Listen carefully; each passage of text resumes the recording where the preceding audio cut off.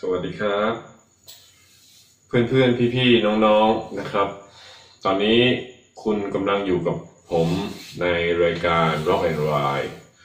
ซึ่งเป็นรายการมอเตอร์ไซค์ที่ไบเกอร์ทุกคนพลาดไม่ได้ ด้วยประการทั้งปวงนะครับ ตอนนี้เป็นตอนที่สองในหัวข้อของการวางตำแหน่งเมมเบอร์ การวางตำแหน่งไบเกอร์ในคลับที่เป็นสากลนะครับ ที่ผมต้องบอกว่าที่เป็นสากล เพราะว่าสิ่งที่ผมได้กล่าวในตอนที่แล้ว มันหมายถึงเมื่อมีคนมาอยู่รวมกันในที่ที่เดียวกัน แล้วจะต้องเข้ามา เรียนรู้ในการเป็นพี่น้องในการเป็นเพื่อนที่ขี่มอเตอร์ไซค์ที่มีความชอบอันเดียวกัน แต่ว่าแต่ละคนถูกเลี้ยงดูเติบโตมาคนละแบบ แต่จะต้องหลอมรวมอยู่ในคลับเดียวกันที่จะต้องไปกันได้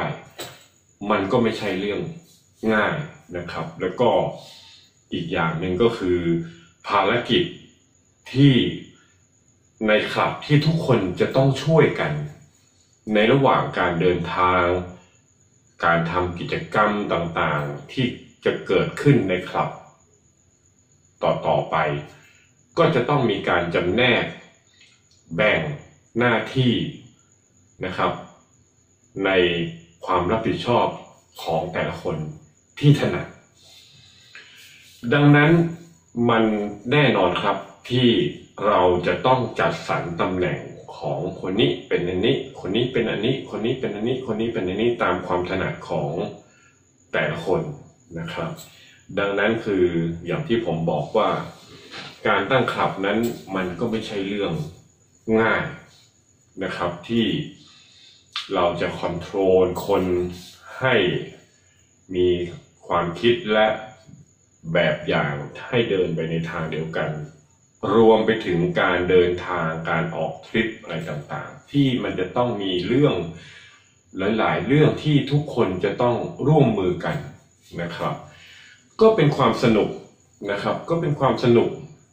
อีกแบบหนึ่งเหมือนกัน ในรูปแบบของนักขี่มอเตอร์ไซค์โอเคครับ เรากล่าวมานาน จากตอนที่แล้ว เราพูดถึงตั้งแต่ตำแหน่ง founder ล ลงมาจนถึงตำแหน่ง Sergeant at Arm นะครับ ทีนี้ตำแหน่งที่ยังไม่พูดถึงก็คือตำแหน่งของโรดกับตัน ซึ่งโรดกับตันเป็นตำแหน่งที่เหนื่อย ผมบอกตรงๆนะครับ เหนื่อยแล้วก็มีความรับผิดชอบ ต้องรับผิดชอบเยอะหลายอย่างนะครับ ดังนั้นคือ อะไรหรือใครที่จะต้องเข้ามาเป็นรถกัปตันนั้น เป็นตำแหน่งที่มีความสำคัญกับกลุ่ม มากพอสมควรทีเดียวนะครับ เรามาดูกันครับว่ารถกัปตันและตำแหน่งอื่น ๆ ที่กำลังจะกล่าวถึงนั้น มีความสำคัญสำคัญมากน้อยเพียงใด ไปดูกันครับ ต่อไปตำแหน่งที่ค่อนข้างจะเหนื่อย นะครับในคลับก็คือโรดกับตันนะครับโรดแคปเทนนะตำแหน่งโรดกับตันก็คือ ก็เป็นกัปตันบนถนนนั่นแหละครับตำแหน่งรถกับตันเนี่ยตามสากลถ้ายึดถ้ายึดตามสากลเป็นหลักนะครับตำแหน่งรถกับตันเนี่ยจะต้องขี่คู่หน้ากับเพรสิดเนต์นะครับถ้าอยู่ในขบวนทั้งหมด ถ้าอยู่ในขบวนทั้งหมดเนี่ย ตำแหน่งรถกับตันเนี่ยจะจะขี่อยู่คู่คู่หน้าของคู่หน้าคู่กับเพรสิดเนต์เสมอนะครับ รถกับตันมีหน้าที่อะไรครับ รถกับตันมีหน้าที่ ก่อนออกทริปทุกทริปนะครับ หลังจากได้รับใบงานว่าจะต้องไปออกงานนี้จาก Secretary หลังจากได้รับการสั่งงานมาปุ๊บรถกับตันจะมีหน้าที่เอาใบงานนั้น มาวิเคราะห์นะครับ มาดูเส้นทางศึกษาเส้นทางว่าจังหวัดนี้จะไปทางไหนถึงจะเหมาะในสถานการณ์รถติดหรือเลี่ยงเมืองหรืออะไรก็แล้วแต่นะครับ รถกับตันจะมีหน้าที่มาร์กตำแหน่งparking นะครับ ก็คือมีหน้าที่ mark ตำแหน่งในการหยุดพัก พักรถพักคนนะครับ ในที่เป็นเขาใช้กันส่วนใหญ่ หรือหรือจากที่ผมเดินทางมาอะไรมา ส่วนใหญ่มักจะพักกันอยู่ที่ 80 กิโลเมตรขึ้นไปนะครับ 80 กิโลเมตรขึ้นไป ดังนั้น road captain มีหน้าที่ขี่แล้วก็ดูระยะทางนะครับ การพัก ทำไมต้องพัก 80 กิโลเมตร พัก 1 ครั้งอะไรแบบนี้นะครับ เนื่องจาก 1. รถของบางคนเนี่ย โดยเฉพาะ Harley Davidson นะครับ ซึ่งเป็นรุ่น Sportster หรืออะไรก็แล้วแต่เนี่ย ถังเขาจะเล็กนะครับ แล้วยิ่งไปกว่านั้นก็คือรถคัตตอมของบางคนเนี่ยออกแบบมาแล้วถังเล็กมากนะครับ ดังนั้นคือ เราก็ต้องคอยดูระยะทาง เพื่อที่จะให้คนที่เป็นเจ้าของรถคัสตอมหรือสปอร์เตอร์เหล่านี้เนี่ยได้แวะเติมน้ำมัน เพราะว่าต้องเติมน้ำมันบ่อยกว่าชาวบ้านเขานะครับ แต่ดังนั้นที่เป็นเบสิกสากลเลยก็คือ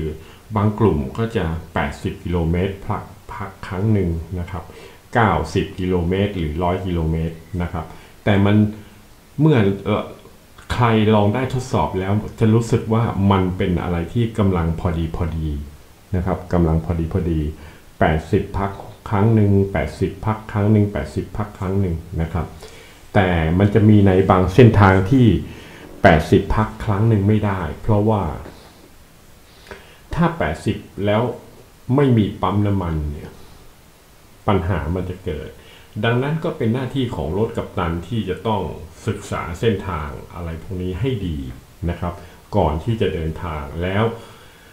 หน้าที่อีกอันหนึ่งของรถกับตันก็คือ การมองหาที่พัก การจองที่พักนะครับ การหาที่พักให้เมมเบอร์ว่าค้างคืนที่นี่ห้องมีกี่ห้องตึบตึบตึบตึบตึบสถานที่ของรีสอร์ทนี้โรงแรมนี้อยู่ที่ไหนนะครับ ต้องส่งเรื่องนี้ไปผ่านทาง s e c r e t a r y แล้ว s e c r e t a r y ก็เบิกเงินจาก Treasurer นะครับมาเพื่อเป็นค่าใช้จ่ายให้รถกับตันนำไปจ่ายนะครับ อันนี้ก็ถึงบอกว่า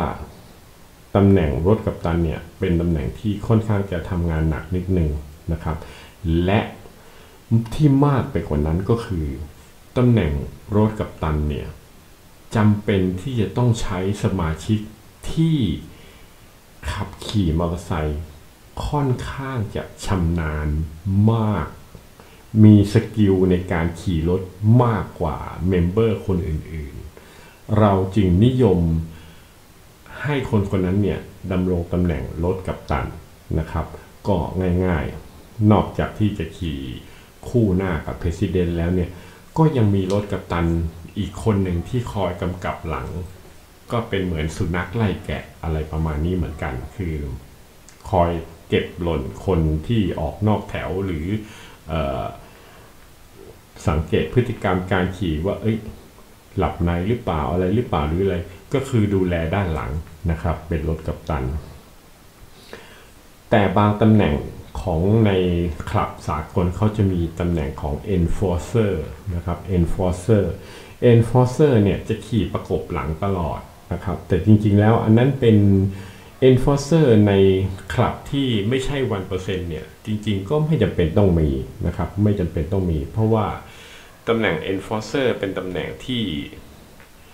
ถ้าพูดกันง่าย ๆ ก็คือขาลุยครับ ขาลุยนะครับ ปิดหลังนะครับปิดหลังแล้วเป็นขาลุยนะครับ มีมีปัญหาก็จัดการ enforcer เป็นคนจัดการ แต่ว่าในเมืองไทยเรานั้น เราไม่มีอารยธรรมแบบนี้ ก็ตำแหน่ง enforcer ก็ไม่จำเป็นที่จะต้องมีนะครับ อันนี้ก็เป็นเลเวลที่เลเวลที่4นะครับ ดังนั้นเลเวลที่ต่ำลงมาจากนั้นก็คือตำแหน่ง member นั่นเองนะครับตำแหน่ง member ก็เป็นตำแหน่งเพื่อนๆสมาชิกที่ติด full patch เรียบร้อยแล้วนะครับ ที่เป็นดำรงตำแหน่งเป็นสามารถครอบครอง full patch ได้ นั่นคือเราใช้ตำแหน่ง member ตัวหนังสือมันก็จะใช้เป็น member ธรรมดาทั่วไปนี่แหละครับนะตำแหน่ง member member ก็ก็ไม่ต้องทำอะไร เป็นตำแหน่งที่ที่ค่อนข้างจะมีความสุขที่สุดนะครับ ในการขับขี่รถในการไม่ต้องมีหน้าที่อะไรมาก มีอะไรก็ช่วยช่วยพี่พี่ๆน้องๆช่วยกันนะครับ มีอะไรก็ช่วยกันอะไรแค่นั้นนะครับ เลเวลที่ต่ำลงมากว่านั้นก็คือ probative นะครับ probative probative เนี่ยยังมีแพทชด้านหน้าและด้านหลังยังไม่ครบเหมือน member นะครับ probative เนี่ยคืออะไรฮะ probative นี่คือตำแหน่งที่เพิ่งอัปเกรดมาจาก prospect นะครับ เพิ่งอัปเกรดมาเพิ่งอัปเกรดมาจาก prospect แต่ยังไม่ถึงขั้นเป็น full member นะครับ ดังนั้นตำแหน่ง probative ก็จะคือเกือบได้เป็น member แหละเกือบได้เป็น full member แหละแต่ยังไม่ได้เป็นนะครับก้ามกึ่งก้ามกึ่งอยู่นะครับ ดังนั้นก็ยังจะมีแพทชยังไม่ครบเท่าไหร่นะครับนะก็ตำแหน่ง เอ่อ probative เนี่ยก็ในเมื่อเลเวลมันจะต่างกับ member นิดนึง ก็ไม่ได้มีหน้าที่อะไร แต่ว่าก็เป็นน้ำใจที่ใครทำอะไรก็จะต้องไปช่วยเหลือไปอะไร เพราะว่าจริงๆมันก็คือ brothers นะครับ ก็คือพี่น้องกันนั่นเองนะฮะก็มีอะไรก็ช่วยเหลือกันไม่ว่าใครจะตำแหน่งไหนก็ก็ช่วยเหลือกันได้หมด ไม่ไม่ซีเรียสอะไรนะครับ ทีนี้เรามาดูครับตำแหน่งที่ต่ำลงมาอีก เป็นเลเวลที่ต่ำลงมาก็คือ prospect นะครับ prospect คืออะไรฮะ prospect ถ้าเราเรียกในแบบภาษาไทยบ้านๆก็คือตำแหน่งเด็กฝึกงานนั่นเอง ตำแหน่ง prospect นั่นคือหมายความว่าเขาเจริญเติบโตมาจากตำแหน่ง hang around นะครับตำแหน่ง hang around ซึ่งเดี๋ยวผมจะบอกว่า hang around คืออะไรนะครับ ตำแหน่ง prospect ก็คือ จะไม่มีโลโก้ใด ๆ บนเสื้อมีมีแค่เขียนว่า prospect นะครับที่ด้านหลังนะครับที่ bottom locker ด้านโค้งๆด้านหลังนะครับด้านล่าง ก็จะเขียนว่า prospect นะครับแล้วก็ด้านหน้าก็จะเป็นชื่อ nickname หรือชื่อเล่นแค่อันเดียวนะครับ แล้วก็อีกหน้าอกด้านด้านซ้ายก็จะเป็นตำแหน่ง prospect มีแค่นั้นเองนะครับตำแหน่ง prospect ตำแหน่ง prospect เนี่ยถ้าจริงๆแล้วคือต้องก็ต้อง ในเมื่อเป็นน้องใหม่ที่ยังไม่มียศถาบรรดาศักดิ์ใด ๆ เนี่ยตำแหน่ง prospect จึงจำเป็นที่จะต้องช่วยเหลือดูแลทุกเรื่อง นั่นนู่นนี่นี่นั่น พี่ๆหรือน้องๆที่เอ่อเป็นเมมเบอร์เราก็เข้าไปช่วยเหลือเขาอะไรเขาเราก็อาจจะได้เลื่อนขั้น หรืออะไรไวขึ้นนะครับไวขึ้น ทีนี้เรามาดูตำแหน่งที่ต่ำลงมาจาก prospect ก็คือตำแหน่ง hang around นะครับ hang around ตำแหน่ง hang around นี่คือหมายความว่าเป็นคนใหม่เลยที่ยังไม่เคยได้ขี่ด้วยกันที่เพิ่งมารู้จักเพิ่งมีรถหรืออะไรแล้วแต่นะครับ ที่เพิ่งมาขอเข้า แต่ว่ายังตำแหน่ง hang around นั้นยังไม่มีป้ายใด ๆ ติด มีป้ายอันเดียวบนหน้าอกด้านซ้ายเขียนว่า hang around เฉยๆนะครับตำแหน่ง hang around ก็คือเป็นตำแหน่งที่สมาชิกในคลับยังคาดหวังอะไรไม่ได้ ยังคาดหวังอะไรกับคนนี้ไม่ได้ เพราะว่าตำแหน่ง hang around เหมือนกับ เพื่อนคนหนึ่งที่มีความสนใจที่จะขี่รถด้วยกันเฉยๆนะครับ ยังไม่ถือว่าเป็นเมมเบอร์แล้วก็ก็แฮง around ครับก็ก็แขวนอยู่เดินอยู่รอบๆ เดินอยู่รอบๆ สังเกตการเป็นตำแหน่งสังเกตการว่ากูจะเอาดีไม่เอาดีกูจะเป็นดีไม่เป็นดีนะครับ นั่นคือตำแหน่งแฮง around ดังนั้นคือนี่แหละครับเป็น ความหมายและก็เป็นตำแหน่งที่กำหนดกฎเกณฑ์ในเรื่องของหน้าที่และกิจกรรมของการดำรงตำแหน่งบราเธอร์ในกลุ่มก็คือตำแหน่งของพี่น้องในกลุ่มนั่นเองนะครับ จริงๆแล้วทุกคนถ้าไม่คิดถึงยศถาบรรดาศักดิ์ไม่คิดถึงตำแหน่ง มันก็คือพี่น้องกันนั่นเองนะครับ เราด้วยอารยธรรมของไทยๆเรา คือเราก็เรียกพี่บางคนอ่อนกว่าเราก็เรียกน้องอะไรแบบเนี้ยนะครับ มันก็มันก็เป็นอารยธรรมไทยๆนะครับ ทุกตำแหน่งนะครับ แค่ว่าเวลาเราออกงานนะครับ แค่ว่าเวลาเราออกงานหรือเราวิ่งวิ่งทริปเราก็ทำหน้าที่ตำแหน่งที่อยู่บนหน้าอกของเราให้ดีที่สุด เท่านั้นเอง และทั้งหมดทั้งมวลนี่แหละครับ คือหน้าที่และภาระที่สำคัญของตำแหน่งใน MC แต่ละตำแหน่ง ส่วนมีคนถามมาว่า พี่แล้วถ้ามีผู้สูงอายุคนหนึ่งที่ขี่มานานแล้ว แล้วไม่ได้ยังไม่ได้เป็นไวท์เพรสิดเนยังไม่ได้เป็นเพรสิดเนหรืออะไรแบบนี้ ซึ่งทุกวันนี้เขาก็ขี่บ้างไม่ขี่บ้างเนื่องจากอายุมากแล้ว เราจะให้ตำแหน่งอะไรเขานะครับ ตรงนี้มันมีทางออกอยู่นะครับ มีทางออกอยู่ว่า เราจะให้ตำแหน่งเขาเป็นตำแหน่ง old school นะครับตำแหน่ง old school old school เนี่ยมันเป็นชื่อศัพท์แสลง ที่ใช้เรียกนะครับ คนผู้สูงอายุที่ที่รักในการขี่รถในการอะไรก็แล้วแต่ ไม่ต้องขี่รถก็ได้นะครับ ที่เป็นผู้สูงอายุ ก็ตำแหน่ง old school ก็เหมือนเป็นที่ปรึกษาเป็นอะไรอะไรแบบนี้นะครับ คือรุ่นเก่ารุ่นใหญ่ รุ่นใหญ่ ปีลึกนะครับ รุ่นใหญ่ปีลึกนะครับ ดังนั้นคือก็เหมือนกับรถรถปีลึกที่เก่าแล้ว เราก็มักจะเรียกรถทรงนั้นว่ารถทรง old school นั่นเอง ทีนี้ทุกคนเมื่อได้ฟังคำว่า old school ก็จะร้องอ๋อนะครับว่าอ๋อพี่ปีเตอร์อย่างนั้นเก็ตละไอ้รถ old school เนี่ยมันเป็นรถทรงเก่าทรงโบราณ แต่จริงๆแล้วเนี่ยการเรียก old school เนี่ยมันมาจากการเรียกผู้สูงอายุ นั่นเองนะครับ ก็วันนี้สำหรับคลิปนี้เกี่ยวกับ เรื่องของตำแหน่งเรื่องของภาระหน้าที่ของคลับ ก็ขอจบลงตรงนี้สำหรับคลิปนี้ก่อนนะครับ แล้วเรามาพบกันตอนหน้าอีกทีหนึ่งนะครับ หลังจากตอนแรกนั้นได้เกเกริ่นไปแล้วว่าทำคลับการก่อตั้งคลับทำยังไง